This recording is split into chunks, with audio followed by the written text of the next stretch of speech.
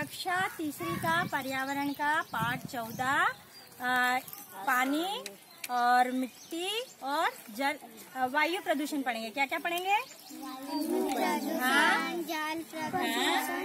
और मिट्टी प्रदूषण पढ़ेंगे है ना? अभी तक हमने जल प्रदूषण और वायु प्रदूषण पढ़ लिया है। आज हम पढ़ेंगे मृदा प्रदूषण। मृदा यानी क्या होता है? मिट्टी। ओके देखिए ये क्या है। आपके पास क्या है? कार। कार कहाँ पे चलती है? रोड पर। Very nice. आपके पास क्या है? ये कहाँ पे चलती है? पटरी पर। Very good. आपके पास? सीप। सीप कहाँ पे चलती है? पानी में। Very nice. आपके पास क्या है बेटा? किसान खेतों में हल जोत रहा है। वेरी गुड आपके पास? किसान खेतों में पेड़ पौधे लगा रहा है। वेरी नाइस खेतों में क्या होता है भाई? मिट्टी। ये क्या है? मिट्टी। मिट्टी है। तो आज हम क्या पढ़ेंगे? मिट्टी प्रदूषण। मृदा प्रदूषण।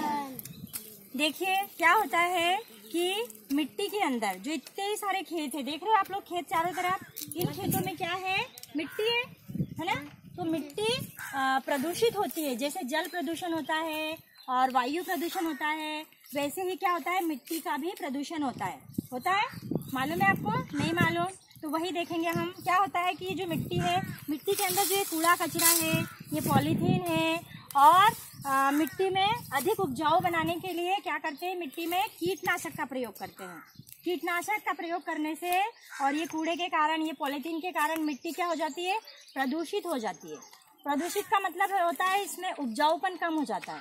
जो हम फ़सल बोते हैं, जो भी करते हैं, वो कम मात्रा में निकलती है। तो इस इसे ही हम क्या कहते हैं, मिट्टी का प्रदूषण कहते हैं। अब मिट्टी के प्रदूषण को कम करने के लिए हमें क्या क्या करना चाहिए? चलिए देखिए जरा इधर आइए। मृदा प्रदूषण कम करने के उपाय। अधिक से अधिक पेड़ पौधे लगाना चाहिए। क्या करना चाहिए हमको? अधिक से अधिक पेड़ पौधे लगाना चाहिए। फ़सलों में रासायनिक कीटनाशकों का कम उपयोग करना चाहिए। है ना? और प्लास्टिक की पन्नियों का उपयोग नहीं करना चाहिए। और यहाँ वहाँ गंदगी कचरा कूड़ा नहीं फेंकना चाहिए। कहाँ फेंकना चाहिए कचरे को फिर? डस्टबिन में। खुले मैदान में शौच नहीं करना चाहिए। तो फिर शौच कहाँ करना चाहिए? शौचालय में। वेरी गुड तो इस प्रकार से हमने अभी क्या देखा कि मृदा प्रदूषण को कम करने के उपाय देखे। अब हम ये देखेंगे कि मृदा प्रदूषण तो कम हो गए। अब हम ये देखेंगे कि अपने जो वातावरण में है हम जहाँ हम कहाँ पे रहते हैं? वातावरण में रहते हैं रहते हैं ना? अपने घर में चारों तरफ़ वातावरण होता है वहाँ रहते हैं हम। तो उस वातावरण को साफ़ सुथरा रखने के लिए हमें साफ़ सुथरा रखेंगे तो हम स्वस्थ रहेंगे है ना? गंदे वातावरण में रहेंगे तो हम बीमार हो जाएँगे। इसीलिए हमको क्या करना चाहिए? पान तंबाकू जो भी खाता है उसको दीवारों पे थूकना चाहिए क्या? नहीं। कहाँ पे थूकना चाहिए? में। वेरी गुड और जो हम पेड़ पौधे लगाते हैं फूल वाले तो उसमें से फूल तोड़ना चाहिए क्या? नहीं तोड़ना चाहिए।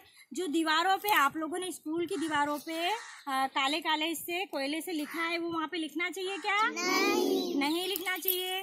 सड़कों एवं नालियों में कूड़ा कचरा डालना चाहिए क्या? नहीं। कहाँ पे डालना चाहिए फिर कूड़ा? डस्टबिन में। वेरी गुड तो हम जिस भी अपने परिवेश में हम चारों तरफ़ जहाँ पे भी रहते हैं इस परिवेश को साफ़ सुथरा रखना चाहिए, क्योंकि परिवेश को हम साफ़ सुथरा रखेंगे तो हमारा वातावरण साफ़ रहेगा। तो हम लोग क्या करेंगे?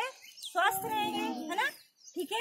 आज आप लोगों ने क्या देखा? मिट्टी प्रदूषण। Very good clap for them